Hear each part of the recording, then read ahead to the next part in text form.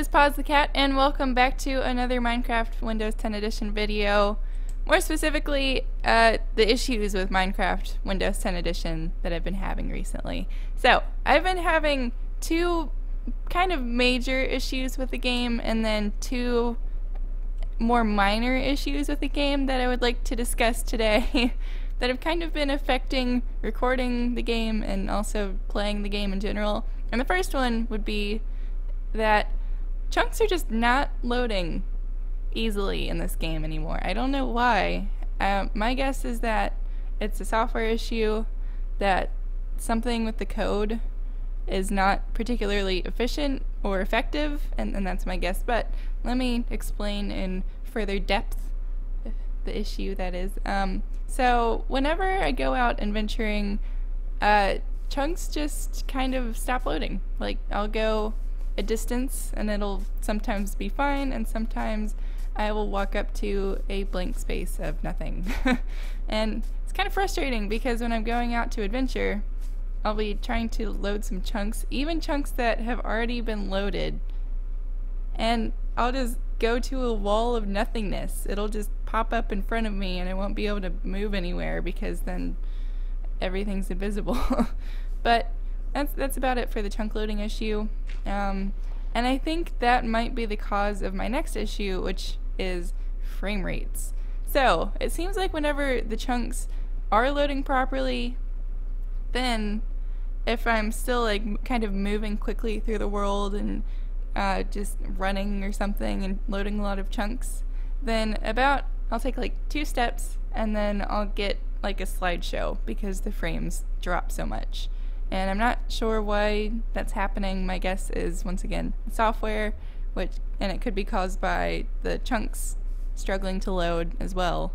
So that's another issue, and these two issues combined make the game almost unplayable. It's certainly not easy to record, but it's it's kind of frustrating to play because of this.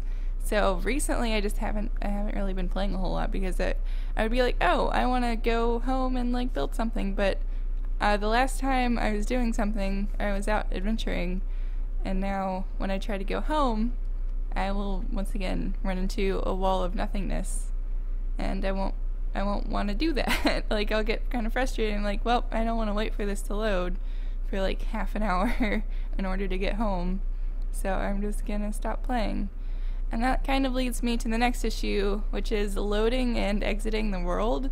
So when I load the world, it takes a long time. and that's the same for exiting the world. However, loading, at least it does it. But it seems like when I'm trying to exit the world, it just, it won't do it. It just won't do it. Sometimes it does.